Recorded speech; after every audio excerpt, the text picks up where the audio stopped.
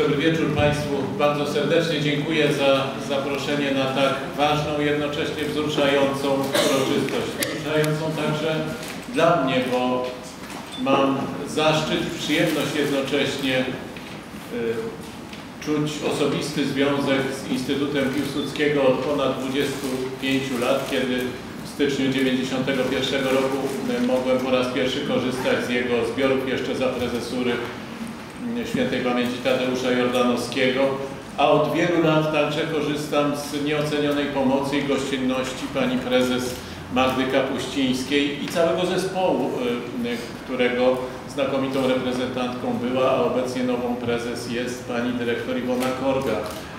I tych 25 lat y, wspominam rzeczywiście tak, jak y, to już było powiedziane, więc nie będę tego powtarzał jako wspaniałą pracę tego miejsca, tego Instytutu na rzecz polskiej pamięci, dumnej pamięci polskiej niepodległości. I z tej perspektywy sięgając y, kolejnych, można powiedzieć 41 25-leci, które złożyły się razem na 1050 lat państwa polskiego, wspominam zaraz pod wrażeniem wspaniałego wystąpienia moich znakomitych poprzedników, dwóch chłopców, którzy tak pięknie przedstawili polskie dzieje przez pryzmat polskiej legendy. Wspominam ze wzruszeniem spotkanie związane e, świeżo z tysiącleciem e, niepodległości chrztu Polski i zarazem powstania państwa polskiego. Wtedy papież Paweł VI nie mógł przybyć do Polski, władze komunistyczne na to nie zezwoliły, ale w pewnym sensie jakby wynagradzając Polsce tę przykrość, Paweł VI mianował w następnym roku drugiego kardynała e, w polskim kościele. Został nim Karol Wojtyła i tak się złożyło, że e, uczęszczając na naukę religii wtedy do pierwszej klasy w kościele sióstr sercanych w Krakowie miałem okazję przedstawiać wierszyk kardynałowi Wojtyle z okazji e, no, nominacji na kardynała. To było w 1967 roku i pamiętam do dziś. Myślę, że te słowa można adresować do właśnie tych dwóch wspaniałych młodych ludzi i wszystkich, e, którzy no, jakoś starają się pracować nad sobą i nad tym, żeby Polska przez kolejne dziesięciolecia kwitła. Kardynał wysłuchał tego wierszyka, e, pogłaskał po głowie i powiedział, no ładnie chłopczyku powiedziałeś, ale teraz powiedz mi coś od siebie. I oczywiście mnie zatkało, nic nie byłem w stanie powiedzieć, ale te słowa zapamiętałem na całe życie. Trzeba umieć coś powiedzieć od siebie. Oczywiście nauczenie się wiersza, zadanie sobie pracy, zwłaszcza w takim wymiarze, jak zrobili to wspaniali chłopcy dzisiaj, jest już daniem czegoś od siebie. Ale całe życie trzeba coś od siebie dawać, żeby być kimś i żeby we wspólnocie, jaką tworzy, wspólnocie pokoleń, jaką tworzy Polska, zaznaczyć dobry ślad. Chciałem parę słów powiedzieć dzisiaj o początkach tego śladu i o jego znaczeniu, o sporach o interpretację tych początków, które teraz ożyły w związku z 1050.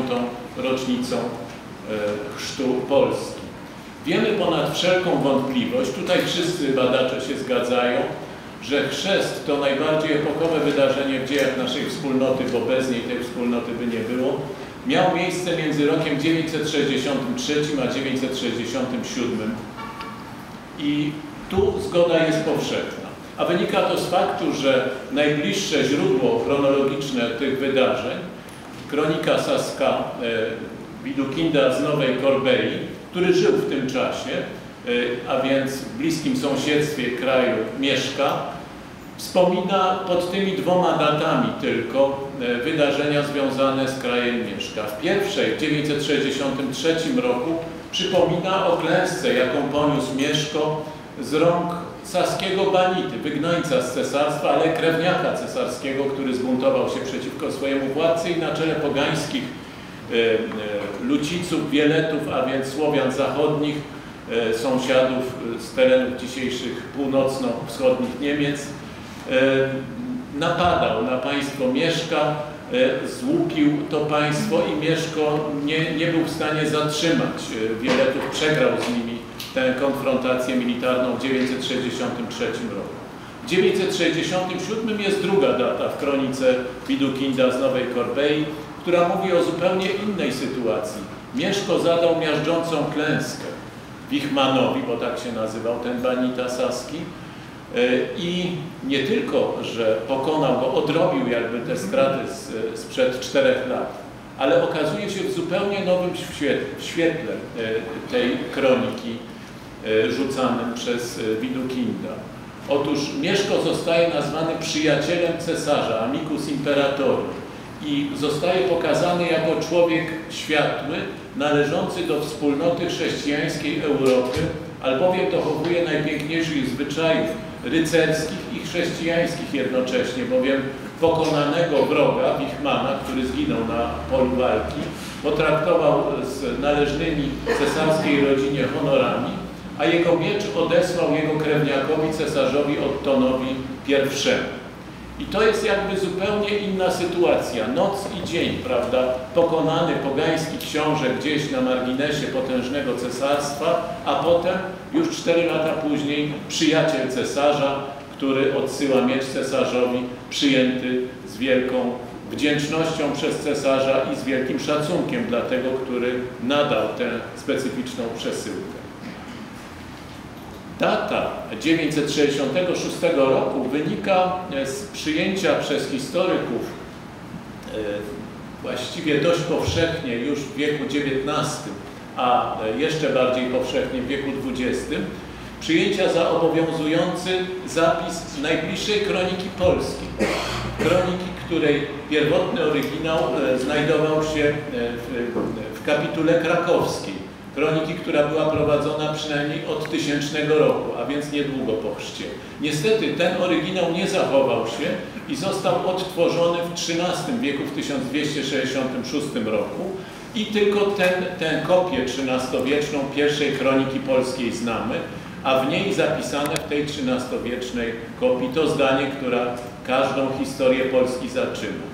Pod rokiem 966 jest zapisane zdanie Mieszko książę Polan ochrzcił się, czy chrzci się. I oczywiście przyjęliśmy to jako pewnego rodzaju oczywistość, że musi to być rok 966, a mediewiści znający zwyczaje duchowe, religijne tamtej epoki wiedzieli, że dla neokatechumenów, dla tych, którzy przyjmowali chrzest, najczęściej obieraną datą była sobota wielkanocna, a ponieważ przypadała ona właśnie 14 kwietnia w roku 966, stąd przyjęło się, że datą chrztu, dokładną datą chrztu Polski jest 14 kwietnia 966 roku. Y, Długoż co prawda zapisał ten chrzest y, pięć wieków po samym chrzcie, pod rokiem 965, inne kroniki zapisywały pod 967, ale w pewnym sensie na nowo spór o miejsce i o datę chrztu, a przede wszystkim o jego znaczenie, ożywił się niedawno.